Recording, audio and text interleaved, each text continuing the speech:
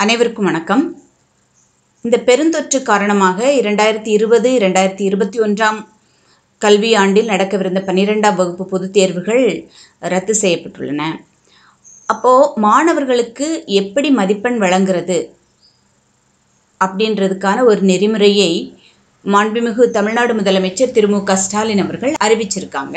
அதை பற்றி விளக்கமாக பார்ப்போம் மாணவர்களுக்கு மதிப்பெண் வழங்குறதுக்காக வேண்டி நமது பள்ளி கல்வித்துறை முதன்மை செயலாளர் தலைமையில் உயர்கல்வித்துறை முதன்மை செயலாளர் சென்னை பல்கலைக்கழக துணைவேந்தர் பள்ளி தலைமை ஆசிரியர்கள் உள்ளிட்ட அலுவலர்கள் அடங்கிய குழு அரசுக்கு ஒரு அறிக்கை கொடுத்துருக்காங்க அதன்படி பத்து மற்றும் பதினொன்றாம் வகுப்பு பொதுத் தேர்வுகளில் ஏற்கனவே மதிப்பெண் வழங்கியாச்சு.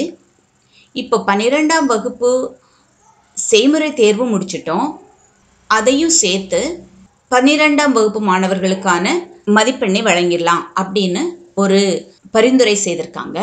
அதாவது பத்தாம் வகுப்பு பொது தேர்வு உயர் மதிப்பெண் பெற்ற மூன்று பாடங்களுக்குரிய சராசரி. பத்தாம் வகுப்பில் ஐந்து பாடங்களை தேர்வு எழுதியிருப்பாங்க. அதாவது தமிழ் அல்லது அவங்க தாய்மொழி ஆங்கிலம் கணிதம் அறிவியல் வரலாறு என்ற ஐந்து பாடங்களில் தேர்வு எழுதியிருப்பாங்க.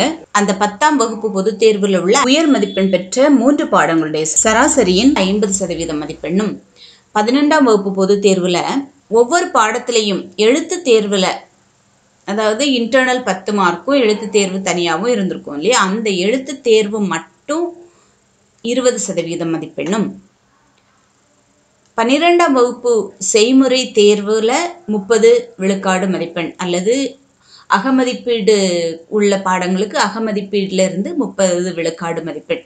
இவற்றை கொண்டு ஒரு மதிப்பெண் பட்டியல் தயாரிக்கலாம் அப்படின்னு சொல்லியிருக்கிறாங்க. அதை நான் கொஞ்சம் விளக்கமாக சொல்கிறேன் top three scores of tenth mark tenth மார்க்கில் உள்ள டாப் த்ரீ ஸ்கோர்ஸ் அதுலேருந்து ஐம்பது சதவிகிதம். அதாவது மார்ச் ரெண்டாயிரத்தி பத்தொன்பதில் எஸ்எஸ்எல்சி முடிச்சிருக்கணும். இதுதான் ஒரு மாணவனுடைய மதிப்பெண் பட்டியல் அப்படின்னு எடுத்துட்டோம்னா கணிதத்தில் அதிகமான மதிப்பெண் எண் எழுபத்தி ஒன்பது மதிப்பெண்கள் வாங்கியிருக்கிறான் இந்த ஸ்டூடெண்ட்டு அறிவியலில் எழுபத்தி மூன்று சதவீதம் வாங்கியிருக்கிறாங்க. ஆங்கிலத்தில் அறுபத்தி ஒன்பது சதவீதம் வாங்கியிருக்காங்க. இந்த மூன்று தான் ஹை ஸ்கோர்ஸ் உயர் மதிப்பெண்கள். அந்த மதிப்பெண்களை எடுத்துக்கிறாங்க. அறுபத்தி ஒன்பது குட்டல் எழுபத்தி ஒன்பது குட்டல் எழுபத்தி மூன்று. அதை எடுத்துட்டோன்னா இரநூற்றி இருபத்தி ஒன்று.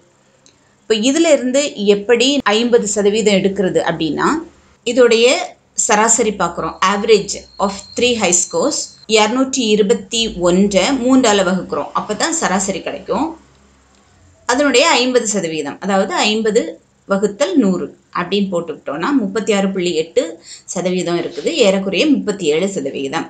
இதுதான் ஐம்பது விழுக்காடு மதிப்பெண்ணில் இந்த மாணவன் பெற்ற பத்தாம் வகுப்பில் உள்ள மதிப்பெண் ஓகேயா அடுத்தது லெவன்த் ஸ்டாண்டர்ட் மார்க் பதினொன்றாம் வகுப்பு மதிப்பெண்ணிலிருந்து இருபது சதவீதம்.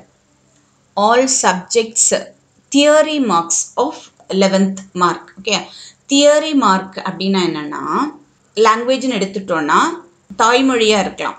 நமக்கு தமிழ் ஓகேயா இந்த லாங்குவேஜில் எண்பத்தி ஏழு மதிப்பெண் என்பது இன்டர்னல் மார்க் அதில் ஒரு பத்து மதிப்பெண் இருக்கும். ப்ளஸ் ரிட்டன் வந்து எழுபத்தி ஏழு மதிப்பெண் இருக்கும். அப்போ அந்த எழுபத்தி ஏழு தொண்ணூறு மதிப்பெண்ணுக்கு தான் எழுபத்தி ஏழு எனவே அதனுடைய சதவீதம் கண்டுபிடிக்கிறதுக்காண்டி நூறால் இருக்கிறோம் எண்பத்தி ஐந்து புள்ளி ஐந்து அப்படின்னு இருக்குது அப்போ அதனுடைய twenty percentage eighty five point five into twenty by hundred அப்படி போட்டால் பதினேழு மதிப்பெண் வருது. அடுத்ததாக இங்கிலீஷ்க்கு பார்த்தோன்னா எண்பத்தி மூன்று அதாவது அகமதிப்பெண் பத்தி தவிர எழுபத்தி மூன்று இருக்கும். தொண்ணூறுக்கு எழுபத்தி மூன்று அதனுடைய சதவீதம் எண்பது. அப்போது எண்பதில் இருபது சதவீதம் பதினாறு. ஃபிசிக்ஸ் இயற்பியல் பார்த்தா எண்பத்தி ஆறு மதிப்பெண்.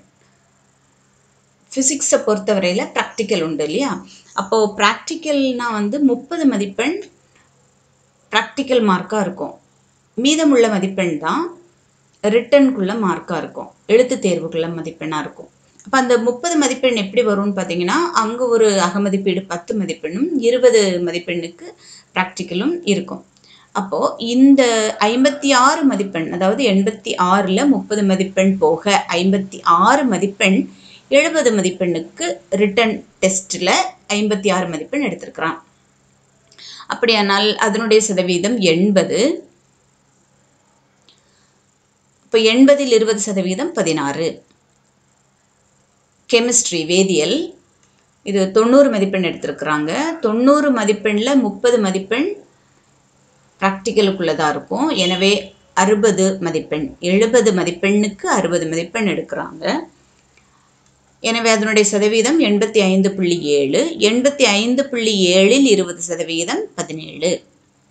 அடுத்தது பயாலஜி பார்த்திங்கன்னா தொண்ணூற்றி ஐந்து மதிப்பெண் அதுவுமே ப்ராக்டிக்கல் உள்ள பாடம். எனவே எழுபது மதிப்பெண்ணுக்கு அறுபத்தி ஐந்து மதிப்பெண் எடுத்திருக்கிறாங்க. எனவே அதனுடைய சதவீதம் தொண்ணூற்றி ரெண்டு புள்ளி எட்டு. தொண்ணூற்றி ரெண்டு புள்ளி எட்டில் இருபது சதவீதம் பத்தொன்பது மதிப்பெண். மேத்தமேட்டிக்ஸ் கணிதம். கணிதம் வந்து பத்து மதிப்பெண் தான் அக மதிப்பீடாக இருக்கும். ஏன்னா அதுக்கு ப்ராக்டிக்கல் கிடையாது. எனவே இந்த தேர்வு வந்து தொண்ணூறு மதிப்பெண்ணுக்கு எழுதிய தேர்வு. அந்த தொண்ணூறு மதிப்பெண்ணுக்கு அறுபத்தைந்து மதிப்பெண் பெற்றிருக்கிறாங்க. எனவே அதனுடைய சதவீதம் எழுபத்தி ரெண்டு புள்ளி ரெண்டு என்றால் எழுபத்தி ரெண்டு புள்ளி ரெண்டின் இருபது சதவீதம் பதினாலு மதிப்பெண். எனவே பதினொன்றாம் வகுப்பில் இந்த மாணவன் இருபதுக்கு பெற்ற மதிப்பெண் இவ்வளவு. அப்போது பன்னிரெண்டாம் வகுப்பு மதிப்பெண் எப்படி கால்குலேட் பண்ணுறாங்க அப்படின்னா பன்னிரெண்டாம் வகுப்பில் ஏற்கனவே அவங்க ப்ராக்டிக்கல் பாடமாக இருந்தால் செய்முறை தேர்வு உள்ள பாடமாக இருந்தால் செய்முறை தேர்வுக்குள்ள மதிப்பெண் இருக்குது. மற்ற பாடங்களுக்கு இன்டர்னல் மதிப்பெண் இருக்கும். எனவே தமிழ் ஆங்கிலம் கணிதம் ஆகிய மூன்று பாடங்களுக்கு தமிழ் இங்கிலீஷ் மேக்ஸ் இதுக்கு உள்ள அகமதிப்பெண் பத்து. அதை மூன்றால் பெருக்கி அதை முப்பதாக எடுத்துக்கொள்ளலாம். இப்போ லாங்குவேஜுக்கு தனியாக அனுப்புது இங்கிலீஷ்க்கு தனியாக அனுப்புது கணிதத்துக்கு தனியாக அனுப்புது அப்படின்னு எடுத்துக்கணும். அடுத்தது செய்முறை தேர்வு உள்ள பாடங்களுக்கு physics chemistry biology botany zoology computer science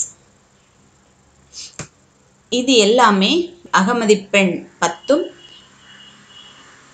செய்முறை தேர்வு இருபது மதிப்பெண்ணுமாக முப்பது மதிப்பெண்ணுக்கு வழங் முப்பது மதிப்பெண் வழங்கப்பட்டுள்ளது. இப்போ இந்த பத்து பதினொன்று பன்னிரெண்டாம் வகுப்பு மதிப்பெண்களை கொண்டு இந்த பன்னிரெண்டாம் வகுப்புக்குள்ள மதிப்பெண் பெறப்படுகிறது. அதாவது பத்தாம் வகுப்பில் முப்பத்தி ஏழு சதவிகிதம் மதிப்பெண் பெற்றிருக்கிறான். இப்போ அதனால எல்லா பாடங்களுக்குமே முப்பத்தி ஏழு மதிப்பெண்ணை கூட்டிக்கிறோம். பதினொன்றாம் வகுப்பில் இந்த மாதிரியான மதிப்பெண்கள் பெற்றிருக்கிறாங்க. அந்த மதிப்பெண் அந்தந்த பாடத்திற்குரியதாக கூட்டிக்கிறோம் ப்ளஸ் இந்த லாங்குவேஜ் அண்ட் இங்கிலீஷுக்கு அகமதிப்பெண்ணை கொண்டு முப்பது மதிப்பெண் பெற்றதாக கொள்ளலாம். அடுத்ததாக ஃபிசிக்ஸ் கெமிஸ்ட்ரி பயாலஜிக்கு ப்ராக்டிக்கல் இருக்கிறதுனால அந்த ப்ராக்டிக்கல் மார்க்ஸ் முப்பது மதிப்பெண்ணை கொண்டு வந்துடலாம். மறுபடி கணிதத்திற்கும் அகமதிப்பீட்டை கொண்டு ஒரு முப்பது மதிப்பெண் முப்பது விழுக்காடு மதிப்பெண். இது எல்லாமே விழுக்காடில் தான் கால்குலேட் பண்ண வேண்டியிருக்குது. இப்போ மொத்தமாக நமக்கு ஒவ்வொரு பாடத்திற்குமான மொத்த மதிப்பெண் கிடைச்சாச்சு. ஸோ பத்தாம் வகுப்பிலிருந்து ஐம்பது சதவீதம் மதிப்பெண்ணும் பதினொன்றாம் வகுப்பிலிருந்து இருபது சதவீதம் மதிப்பெண்ணும் பன்னிரெண்டாம் வகுப்பிலிருந்து முப்பது சதவீதம் மதிப்பெண்ணும் எடுத்து மொத்தமாக நூறு சதவீதத்திற்கு ஒவ்வொரு பாடத்திற்கும் மதிப்பெண் இவ்வாறு வழங்கப்படுகிறது. முப்பத்தி ஏழு ப்ளஸ் பதினேழு ப்ளஸ் முப்பது எண்பத்தி நாலு முப்பத்தி ஏழு ப்ளஸ் பதினாறு ப்ளஸ் முப்பது எண்பத்தி மூன்று முப்பத்தி ஏழு ப்ளஸ் பதினாறு ப்ளஸ் முப்பது எண்பத்தி மூன்று முப்பத்தி ஏழு ப்ளஸ் பதினேழு ப்ளஸ் முப்பது எண்பத்தி நான்கு முப்பத்தி ஏழு ப்ளஸ் பத்தொன்பது ப்ளஸ் முப்பது எண்பத்தி ஆறு முப்பத்தி ஏழு ப்ளஸ் பதினாலு ப்ளஸ் முப்பது எண்பத்தி ஒன்று ஆக டோட்டல் ஐநூற்றி ஒன்று. அறுநூறு மதிப்பெண்ணுக்கு இந்த பர்டிகுலர் ஸ்டூடெண்ட் ஐநூற்றி ஒரு மதிப்பெண் பெற்றிருக்கிறாங்க. இன்னும் கூடுதலும் இன்ஸ்ட்ரக்ஷன்ஸ் இருக்குது அது என்னன்னு பார்த்தீங்கன்னா கொரோனா பெருந்தொற்று காரணமாக பன்னிரெண்டாம் வகுப்பு செய்முறை தேர்வு எழுதாமல் இருந்திருக்கலாம் இல்லையா சில மாணவர்கள். அவங்களுக்கு கொரோனா தொற்றோ ஏதோ காரணமாக முக்கியமாக அவங்க வந்து பன்னிரெண்டாம் வகுப்பு செய்முறை தேர்வு எழுதலைன்னா அவங்களுடைய பதினொன்றாம் வகுப்பு செய்முறை தேர்வு மதிப்பெண்ணை கூட எடுத்துக்கொள்ளலாம் அப்படி சொல்லியிருக்காங்க. அப்படியே பதினொன்றாம் வகுப்பு செய்முறை தேர்வும் எழுதலை. பனிரெண்டாம் வகுப்பு செய்முறை தேர்வும் எழுதலை. அப்படி உள்ள மாணவர்களுக்கு பத்தாம் வகுப்பு மற்றும் பதினொன்றாம் வகுப்பு எழுத்து தேர்வு அடிப்படையில் இந்த பன்னிரெண்டாம் வகுப்பு வகுப்பிற்குரிய செய்முறை தேர்வு மதிப்பெண்ணை கொடுக்கலாம் அப்படி சொல்லியிருக்கிறாங்க. கடந்த ஆண்டு பதினொன்றாம் வகுப்பு எழுத்து தேர்வில் ஏதேனும் பாடங்களில் தோல்வி அடைந்திருந்தாலோ அல்லது தேர்வு எழுத இயலாத நிலை இருந்திருந்தாலோ அந்த மாணவர்களுக்கு எப்படி பண்ணுறது அப்படின்னு பார்த்தீங்கன்னா முப்பத்தி ஐந்து விழுக்காடு மதிப்பெண் வழங்கப்படும் அப்படின்னு சொல்லியிருக்கிறாங்க. பாஸ் பெற்ற மதிப்பெண் பெற்றதா அறிவிச்சிருக்காங்க. பதினொன்றாம் வகுப்பு எழுத்து தேர்வு அகமதிப்பீடு செய்முறை தேர்வு மற்றும் பன்னிரெண்டாம் வகுப்பு அகமதிப்பீடு செய்முறை தேர்வு ஆகிய தேர்வு நிலைகளில் ஒன்றில் கூட கலந்து கொள்ளலை. அப்படி உள்ள மாணவர்கள் என்ன செய்வாங்கன்னா தனி தேர்வர்களாக கருதப்படுவாங்க. அவங்க தனி தேர்வு எழுத வாய்ப்பு அளிக்கப்படும் அப்படி சொல்லியிருக்காங்க. இப்படி மேற்கூறிய முறைகளில் பன்னிரெண்டாம் வகுப்பு மாணவர்களுக்கான மதிப்பெண் கணக்கிடப்பட்டு உச்ச நீதிமன்ற ஆணைப்படி ஜூலை முப்பத்தி ஒன்றாம் தேதிக்குள் அரசு தேர்வுகள் துறை இணையதளத்தில் இந்த மதிப்பெண் பட்டியலை வெளியிடும் அப்படி சொல்லியிருக்கிறாங்க. இந்த மதிப்பீட்டு முறையில் கணக்கிடும்போது எனக்கு மதிப்பெண் குறைஞ்சிரும். நான் வந்து பன்னிரெண்டாம் வகுப்பில் இன்னும் நான் அதிகமாக நல்லா படிச்சிருக்கிறேன்.